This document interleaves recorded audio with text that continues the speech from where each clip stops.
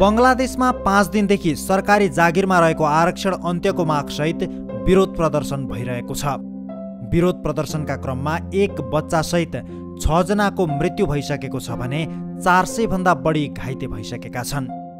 प्रधानमन्त्री शेख हसिनाले विद्यार्थीहरूका पाँच बुधे माग सम्बोधन गरी आन्दोलन टुङ्ग्याउनुको साटो विरोध प्रदर्शन रोक्न सेनालाई सडकमा तैनात गराएकी छन्।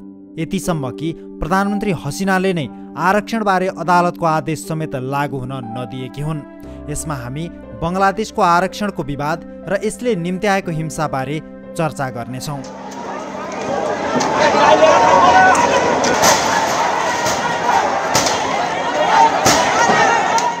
सन् उन्नाइस सय एकहत्तरमा पाकिस्तानबाट विभाजित भएर बङ्गलादेश बनेको हो। त्यसअघि यसलाई पूर्वी पाकिस्तानका नामले चिन्ने गरिन्थ्यो।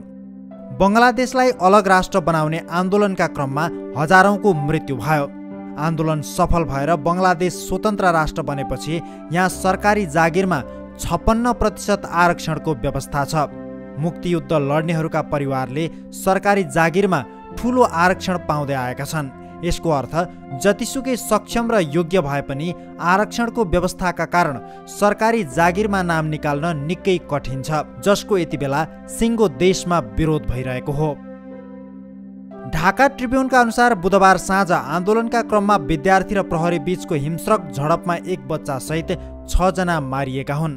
प्रदर्शनले उग्र रूप लिँदै गएपछि राजधानी ढाकासहित विभिन्न सहरमा शिक्षण संस्था अनिश्चितकालका लागि बन्द गरिएको छ। आन्दोलनकारीले बिहिबार अस्पताल र आकस्मिक सेवा बाहेक देशभर बन्द आह्वान गरेका थिए।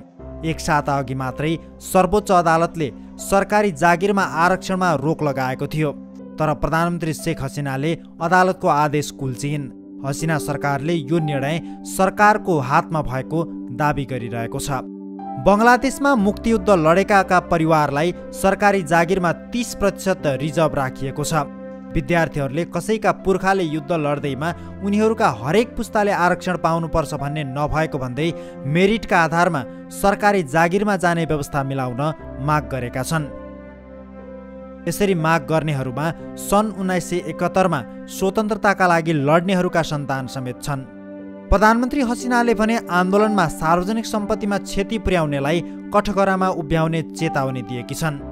प्रधानमन्त्री शेख हसिनाले सन् दुई हजार अठारमा नयाँ आरक्षण नियम लागू गरेकी थिइन् जसमा स्वतन्त्रता सेनानीका सन्तानलाई तिस प्रतिशत पिछडिएको जिल्ला र महिलाका लागि दस दस प्रतिशत अल्पसङ्ख्यकका लागि पाँच प्रतिशत र अपाङ्गहरूलाई एक प्रतिशत आरक्षणको व्यवस्था गरिएको छ। आन्दोलनकारीहरूले आरक्षणको यो छप्पन्न प्रतिशतलाई घटाएर दस प्रतिशत बनाउन आरक्षित सिटमा योग्य उम्मेद्वार नभए मेरिट लिस्टबाट पदपूर्ति गर्न र कुनै पनि उम्मेद्वारले एकपटकभन्दा बढी आरक्षणको प्रयोग गर्न नपाउने व्यवस्था गर्न माग गरिरहेका छन्।